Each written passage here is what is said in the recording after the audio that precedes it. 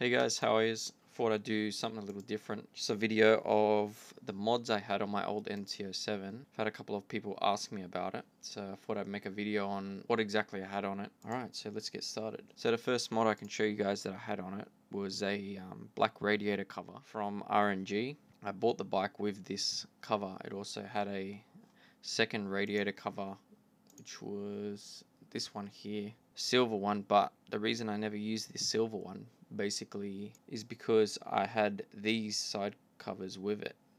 And these wouldn't go on if I had the silver one on. So I used to just run this black one here all the time with these side covers.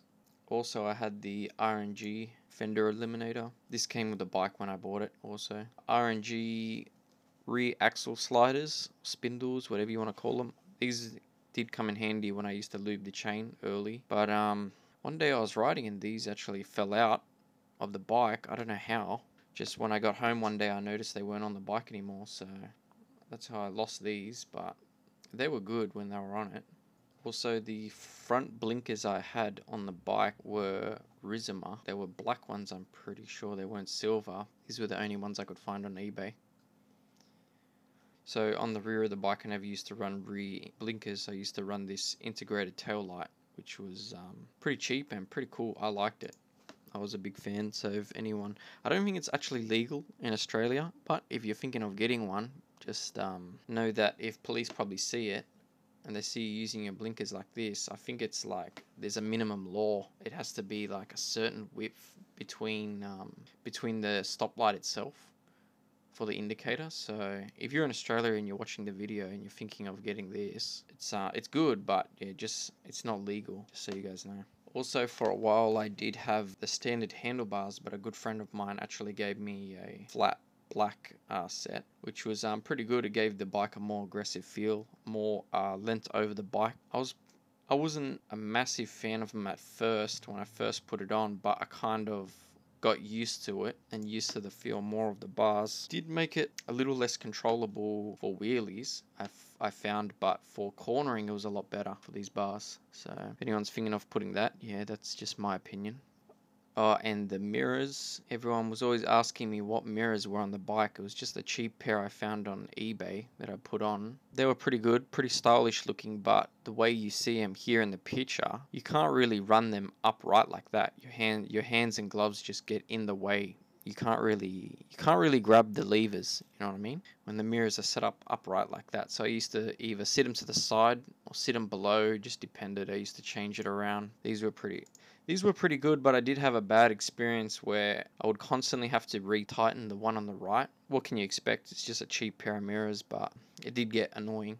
Also these, these were for the standard mirrors. They were basically just a screw-in cap with the Yamaha logo, which was pretty cool. Just a little finishing touch on the top for anyone that's um, has bar ends on their bike and thinking like when you when you see it, it's just tape a screw just sitting on the top of the bike, and it I don't know, it just it just doesn't look doesn't look very good just sitting there. So these used to really finish it off when they were screwed in there. And here are the um, tank pads. These these were pretty good, but I found in the in the hot conditions, I don't know if it was the way I put it on or I'm not sure, but these would eventually start peeling off on me, and I just ended up removing them completely. Like they were no good.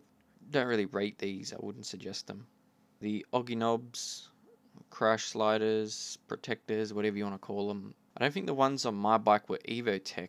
I can't remember what they were. They were plain from memory. Didn't have any riding on them, but these are definitely a good option for beginner riders or someone looking to stunt ride on the bike or anything like that. You know, if you're gonna risk tipping the bike or whatever, you know, these are pretty good. Also, the Evotech rear pillion foot peg removal kit. I used to have these. These were pretty good it just finished it off. This one here on the top of the picture, you can see that one was for the uh, rear brake reservoir to bolt up to.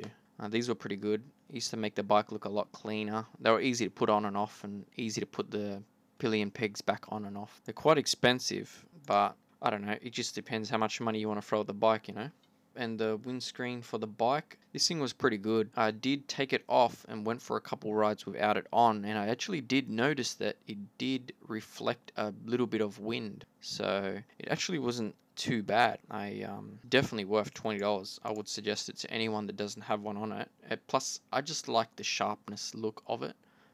I try to go for like the stealthy look on the bike when I had it. I was pretty happy with this. For twenty dollars, yeah, I would definitely suggest this. And the levers, MT07 levers. I don't know if I'd really suggest this. They were good, but um, if you're gonna get them, just make sure you get a half decent pair. The ones I had on mine were just a cheap set, and they weren't the best. Like I ended up, I think I ended up going back to like my original clutch lever or something in the end because I just, I just wasn't a fan of them the way they felt. If you're gonna get a pair of these, probably just get an expensive pair or just not at all. The de-restriction plate for the um, throttle body. I'm pretty sure this was the first thing I put on the bike because mine was a, um, a LAMS approved. It wasn't the HO. It was a learner legal bike, so I had to. Basically, all it does is just allows this flap here to open up further. This bit here hits here this plate bolts up. Usually it's a lot longer here in this section. Comes out to maybe about here. Flap opens and probably stops about here. So it allows it to fully open, you know what I mean? Um, I will definitely suggest this. This um, improved the power of the bike by quite a bit. Another performance mod it did have was the Acro Povik exhaust system. It was a full system and also what I ended up doing was I ended up uh, exhaust wrapping it from the top all the way down just past the springs and um, I don't think I ever seen another MT07 with the exhaust wrapped up so I just kind of like to be a little bit different with it just um, extinguish it from the rest. So I would definitely suggest this exhaust. It sounded really good. Anyone that's um, that has the bike, I, I don't know if I would buy it brand new. You could probably get a second hand one for a better price because some of the prices on here for them like nine hundred dollars here is pretty cheap. But some oh no there it is thirteen hundred. So some of them on here like sixteen hundred bucks. You know, so I'd probably just get a second hand one if I was looking into getting them. I'll show you guys a video of um, what it sounded like.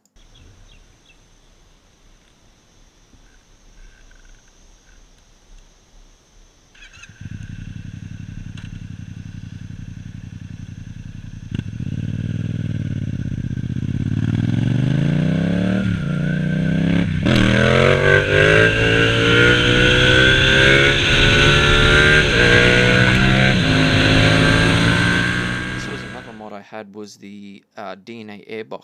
This was a pretty good mod. I don't think I really noticed it too too much in it they were claiming I think like 20% extra power or something out of these but I don't know. If you could get a K&N or any of the others for the same price I wouldn't wouldn't go out of your way to get one of these. It's pretty good. I'd probably go with the K&N over this actually because I think they have a um, recleanable filter the K&N I don't know. It's just up to you guys. It is what it is. And I know a lot of people are going to ask when they see this oh the the filter and the exhaust. There's a lot of people saying oh do you have to tune it or not? And I'm not exactly sure because I had the exhaust and I put this filter in and I never tuned the bike but some people did tune it. They said it more made more power after the tuning. A lot of people I asked they said they'd owned the bike for over a year running this filter and this exhaust and they never tuned the bike and they said you know it's still fine still running perfectly. I wouldn't worry about tuning it so I never tuned it but it, I don't know it's just up to you guys. Do your own research on it and you know. So that's it for this video guys. Thanks for watching and that's all the mods that I had on my bike